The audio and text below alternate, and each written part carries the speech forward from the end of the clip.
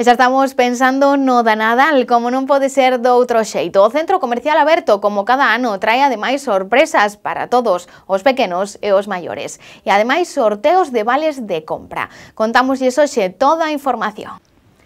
A campaña de Nadal do Centro Comercial Aberto xa está en marcha un ano máis, para encher de máxia as rúas e sorprender os máis pequenos e tamén os maiores.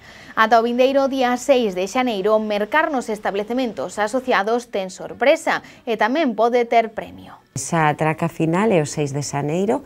Como sabedes, eh, desde a asociación sempre premiamos esa fidelidade, ese compromiso dos clientes para co comercio local.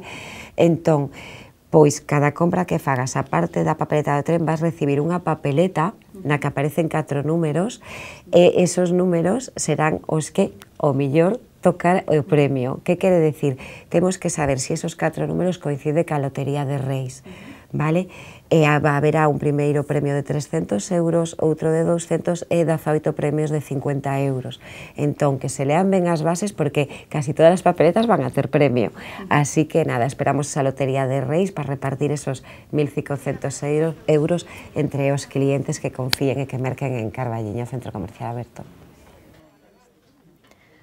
Por outra banda, como acaba de comentar Noelia Mares, a xerente do CCA, mañá mércores contaremos ca visita de Papá Noel pola mañá dende as 11 ata 1 e media e pola tarde dende as 5 ata as 7.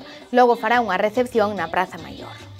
Xa, xa chega o día eh, e mañá día 21 temos esa visita que xa nos confirmou eh, Papá Noel que podía estar aquí no Carballiño e eh, mañá desde as 11, 11 media da mañá percorrerá as rúas pola tardiña tamén e a partir das 7 da tarde hasta as 8 e media pois recibirá a todos esos pequechos eh, na Praza Maior que se queran facer unha foto, entregalle a carta de última hora o que é esa. entonces mañá 21 esa visita de Papá Noel eh, que falamos os comerciantes con con ele que sí, que vai estar no Carballiño.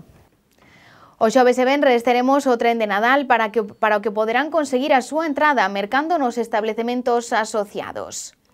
E ademais, o 6 de xaneiro celebrarase un sorteo de 1.500 euros en vales de compra. As papeletas para participar poderán conseguirse o mercar no comercio local e os gañadores coincidirán cos números premiados da Lotería de Reis. 22 e 23 temos ese tren xa típico de Nadal do Centro Comercial Aberto. E, bueno, para participar, para conseguir un pase para tren, calquera compra que fagas nos establecementos asociados a Carballiño CCA, vanche dar unha papeleta ca que ti despois ese acceso a poder pasear no tren. Como ben sabedes, o tren sairá e chegará sempre da Praza de Abastos daqui do Carballiño e ten catro rutas diferentes para que en cada ruta pues, pasemos por, por eso, por distintas zonas da nosa vila.